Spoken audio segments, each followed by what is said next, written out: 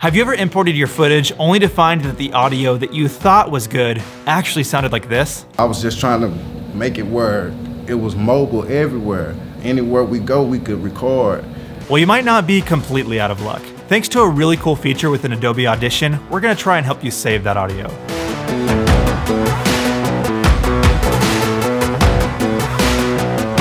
First, you'll need to import the audio track that you want to fix into Adobe Audition. Next, listen through the audio track to find the longest period of time when you're just hearing the background noise or room tone. For future reference, it's a really good habit to record 20 to 30 seconds of just room audio, otherwise known as room tone, whenever you record an interview. Once you've found your longest bit of blank audio in your recording, select it. Now, navigate to Effects, Noise Reduction slash Restoration, and select Capture Noise Print. Now, select the entire audio track. From there, navigate back to the same menu, but select the Noise Reduction effect. This will bring up a dialog box full of different options for reducing the amount of background noise in your audio track. You can select the amount of background frequencies to reduce and how much volume to reduce them by. But be careful, pushing this effect too far can result in some pretty nasty sounding audio. I was just trying to make it where it was mobile everywhere. Anywhere we go, we could record. And at that time, that was like. It's important to note that you don't actually have to capture the noise print from the file that you're trying to correct.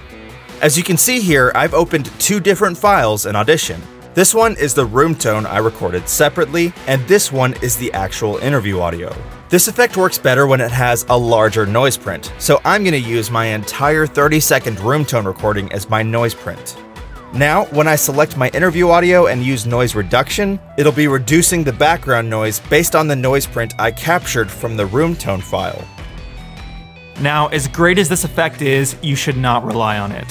While I use it all the time, and I'm even using it right now to enhance my audio, you should not rely on it to fix your audio, as that won't work all the time.